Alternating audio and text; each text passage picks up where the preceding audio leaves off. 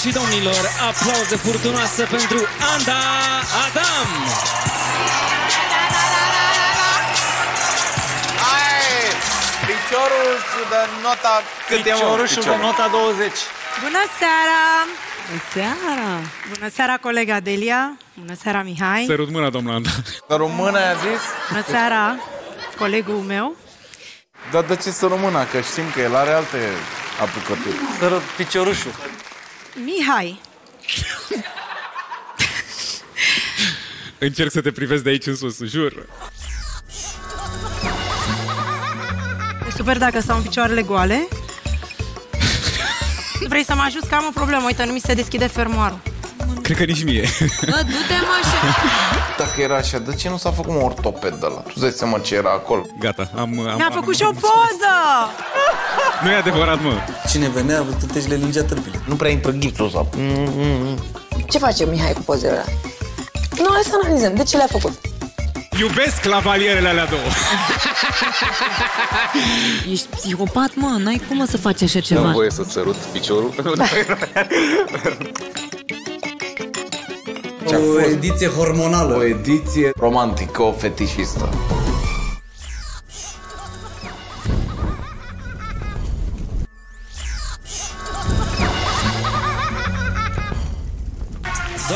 Și domnilor, Am revenit! aplauze furtunoase Oglindă, pentru oglinjoară, cine are cel mai frumos picior din țară? Înainte de pauză, Anda Adam a urcat pe scena ai umor, iar Mihai s-a lăsat comod pe spate, nu a aprins o țigară pentru că nu e voie, dar în Mihai. mintea lui era deja în jacuzzi și cu un pahar de vin lângă. Încerc să te privesc de aici în sus, jur. De ce? S-a întâmplat ceva în regulă nu, cu nu. picioarele mele? Nu, nu, nu, nu. Băloșește, mă, nu moare aici. Vreau să-ți spun așa că mă bucur foarte mult să te văd. Și eu. În prezența ta mă simt ca acasă. Știi de ce? Pentru că îmi vine să mă și descalț. Te super dacă stau în picioarele goale? Și freamătă norile. Bă, ce senzație tu că eu sunt așa un obsedat? Bă, bune. Bă, dar cât, cât marketing aveți și voi în voi? Să o invitați pe Anda Adam pentru care are picioarele perfecte. I send my love, love from a distance. Ce credeați, bă, că o să mi se scurgă ochii, că o să-mi curgă balele pe masa aia, că am văzut picioarele Andei Adam? Ai spus că am cele mai frumoase degete pe care le-ai văzut. În primul rând vreau să-ți mulțumesc pentru apreciere și pentru tonele de mesaje de la atâția oameni cu probleme grave care mi-au scris în legătură cu asta. În al doilea rând, ai aici numărul unui doctor psiholog mult mai bun decât al tău. Să dau. Îți mulțumesc. Uh, ok.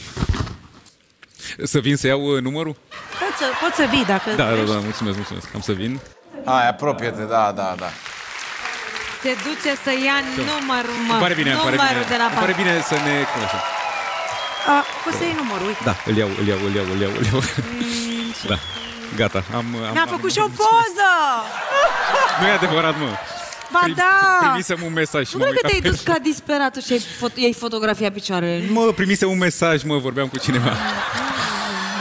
Maestre, să vă zic ce ați făcut. V-ați dus cu telefonul lângă picioarele femeii Așa? și ați făcut poze picioare. Nu.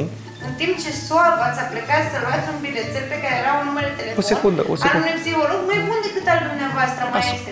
Ascultă-mă, Poate nu vă amintiți eu asta. momentan, eu momentan nu lucrez cu niciun psiholog și niciun psihiatru pentru că sunt uh, bine, așa cum sunt.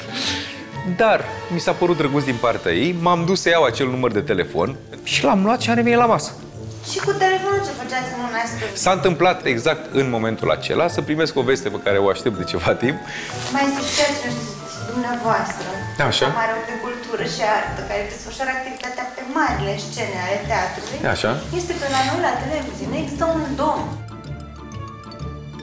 o cameră de sus, care a văzut și în telefonul dumneavoastră.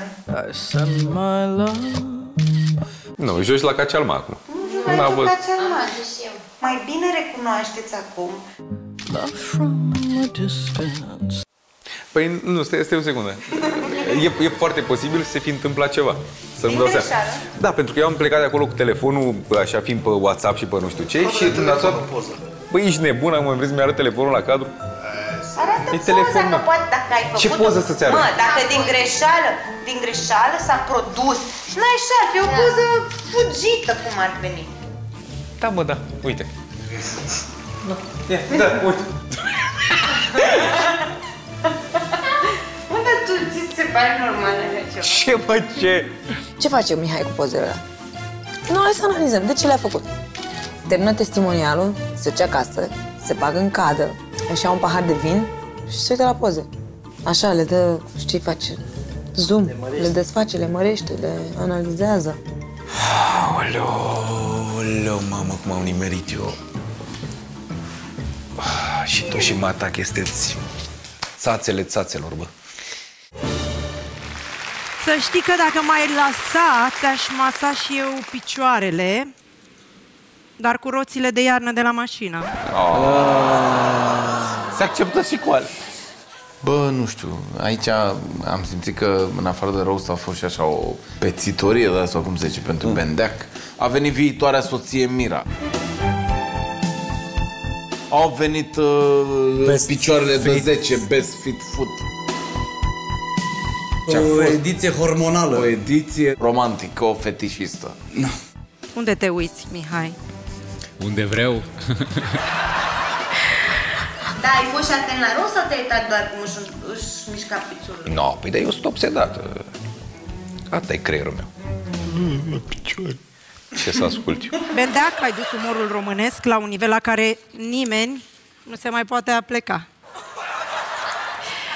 Dar ești o legendă și cred că nimeni nu a luptat mai mult cu propria sexualitate. În schimb, o figură extrem de importantă pentru România este Chelu. Te pup! Te pup! Chelu care acum ceva timp m-a și refuzat pe o piesă care a fost mare hit, e vorba despre mărul lui Adam. Dar n-a și să spus știi că nimănui că te-a urmează o refuzat. altă piesă la care o să te rog dacă vrei să facem un fit. N-are moșul cu Auzi, nu, nu fit, uh, Fit, fit. Bendea. altfel de fit. Dar vreau să spun că ești un exemplu pentru toată lumea. Mai ales pentru copii de la mine de la bloc. Știi versul ăla în care spuneai sunt genul de om care mă... Liftul tău. Exact. E, superb. Să știi că am tot urcat vreo 10 ani pe scări pentru că toți copiii te luau de exemplu și făceau pipi în lift. Înseamnă că te-am ajutat în viață, probabil te-ai mutat la casă. Nu încă, dar o voi face curând. Dacă ei continuă să ia exemplu piesa ta, foarte drăguță de altfel, nimic de spus.